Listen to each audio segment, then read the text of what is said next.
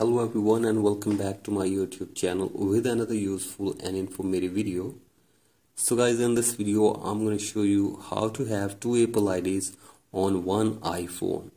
So guys if you want to add two Apple IDs on one iPhone here I will show you how can you do this. So guys this is very basic and simple. So guys first of all you have to simply go back to your home screen and now you have to simply open your app store and tap on your profile button.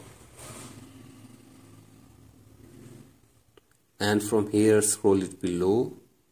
Scroll it below all the way and from here you can easily sign out this Apple ID from your app store. So guys simply tap on done button and the Apple ID will be removed from your app store. So guys here you can see this.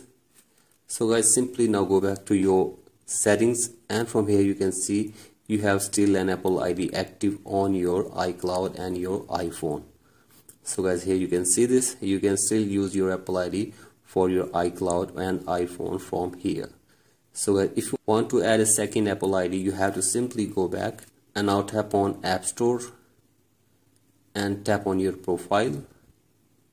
And from here tap on sign in. And from here you can see you can use a different Apple ID or second Apple ID for your app store and iTunes. So guys here you can see this. If you don't want to use this Apple ID which is active on your iCloud and your iPhone you have to simply tap on no button from here. So guys as you can see this simply tap on not Alex Alex.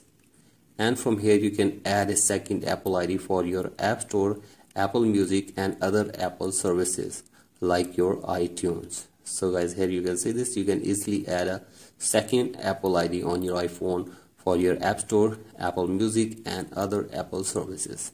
So guys in this way you can also add a different Apple ID or two Apple IDs on your iPhone.